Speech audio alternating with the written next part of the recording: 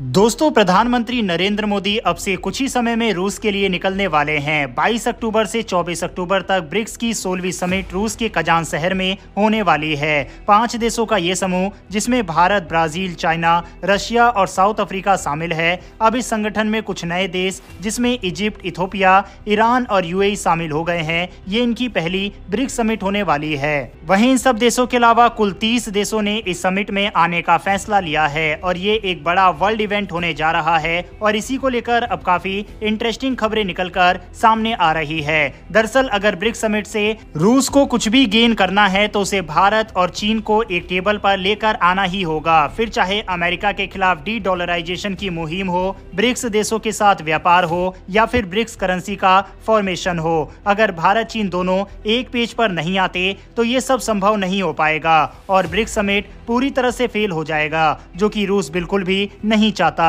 यही कारण है कि रूस के विदेश मंत्री सरगेव लेवरोव की तरफ़ से कहा गया है कि आरआईसी यानी कि भारत, रूस और चीन का जो ये समूह है, ये अभी भी एक्टिव है और तमाम बाधाओं के बावजूद इसके ऊपर तीनों देशों के द्वारा काम किया जा रहा है। रूस लगातार कोशिश कर रहा है भारत और चीन को साथ में लाने की। वहीं खबरें ऐसी भी सामने आ रही है कि भारतीय प्रधानमंत्री नरेंद्र मोदी और चीन के राष्ट्रपति सी जिनपिंग की वन टू वन मीटिंग भी रूस के अंदर हो सकती है और ये अरेंजमेंट भी रूस ही कर रहा है। हालाँकि भारत के प्रधानमंत्री तब तक नहीं मिल सकते जब तक भारत और चीन के बीच में जो बॉर्डर इशू है, वह खत्म नहीं होता।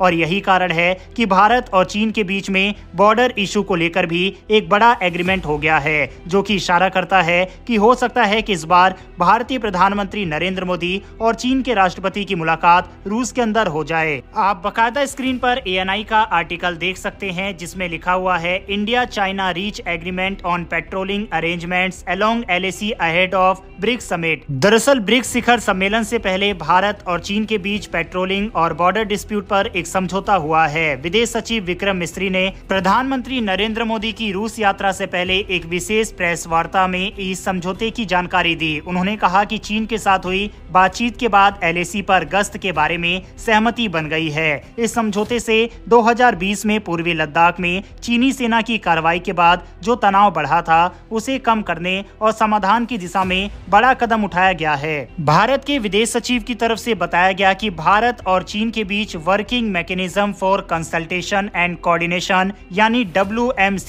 और सैन्य कमांडरों के स्तर पर कई दौर की बातचीत हुई। इन बैठकों के माध्यम से पहले भी कई स्थानों पर तनाव खत्म किया गया था।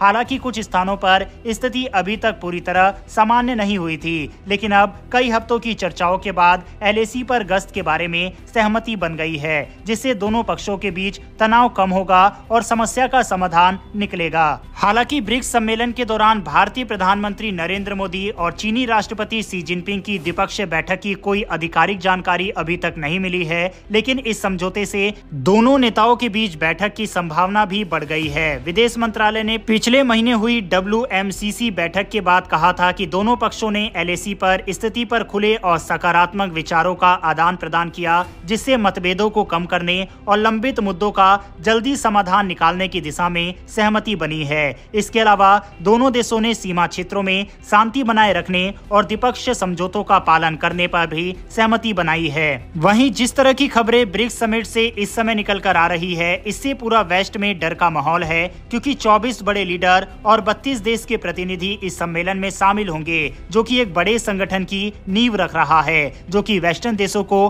परेशान भी कर रहा है। हालाँकि ब्राज़ील के प्रेसिडेंट की तरफ़ से इस सम्मेलन को कैंसिल किया गया है। उसके पीछे जो कारण बताया जा रहा है, वह यह है कि उन्हें ब्रेन हेमरेज हो गया है। इस वजह से वह हिस्सा नहीं ले पाएँगे। लेकिन उनकी जगह ब्राज़ील के प्रधानमंत्री वहाँ पर मौजूद रहेंगे। हालाँकि जब चीनी स्पोक पर्सन से भारत और चीन के राष्ट्रीय अध्यक्षों के बीच मुलाकात पर सवाल किया गया तो उन्होंने भी भारत के विदेश सचिव की तरह इस क्वेश्चन को टाल दिया।